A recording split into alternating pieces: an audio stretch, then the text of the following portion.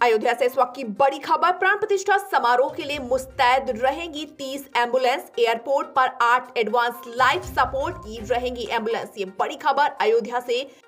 हरदोई व अयोध्या रोड पर दो दो एंबुलेंस रहेंगी तैनात। कानपुर सीतापुर रोड पर भी एंबुलेंस की जाएगी तैनात। स्वास्थ्य विभाग ने 30 एंबुलेंस का बेड़ा किया तैयार। एयरपोर्ट से लेकर अयोध्या रोड पर तैनात रहेंगी एंबुलेंस।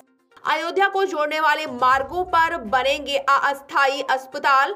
एयरपोर्ट पर आठ एडवांस लाइफ सपोर्ट की रहेंगे एंबुलेंस। ये बड़ी खबर, इंडिया ट्वेंटी लाइव टीवी पर आप देख रहे हैं। चार निजी अस्पतालों से भी मंगाई गई एंबुलेंस। ये बड़ी खबर अयोध्या से आ रही है। प्राण प्रतिष्ठा समारोह के लिए मुस्तैद रहेंगी तीस एंबुलेंस। एयरपोर्ट पर आठ एडवांस लाइफ सपोर्ट की रहेंगी एंबुलेंस। हरदोई व अयोध्या रूट पर दो दो एंबुलेंस रहेंगी तैनात।